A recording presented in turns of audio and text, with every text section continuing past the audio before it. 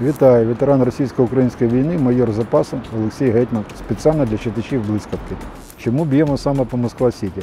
Московське ППО «Решето» – це чи справа в українських дронах. Чого ще не вистачає для активного контрнаступу? Керченський міст, коли вже доб'ємо? Хай ночувається, буде удари ракетами.